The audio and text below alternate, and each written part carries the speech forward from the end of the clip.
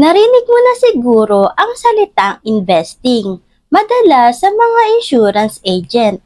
Madalas mali ang pagkakaintindi ng mga tao rito kung ano ang kahulugan nito. Ano ba talaga ang investing?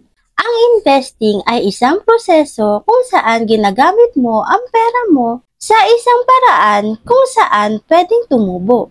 Pwede ka mag-invest sa sarili mong negosyo or tinatawag na mutual fund. Ang mutual fund ay ang pinagsama-samang pera ng mga tao kung saan gagamitin para i-invest ito.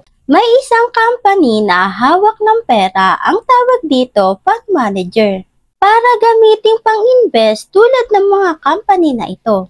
Pag maganda ang performance ng mga stock at mga bonds, magre-reflect ang mga ito. Magre-reflect ito sa performance ng mutual fund. Alam niyo po ba kapag member tayo ng IMG, automatic may 1,000 pesos ka na agad sa Saldivo Mutual Fund mo. At 20 pesos lang ang minimum top up depende sa iyo. Meron kaming free financial webinar dito sa mutual fund. To know more about saving and investment, i-message mo lang ako sa personal FB ko para mag-guide pa kita.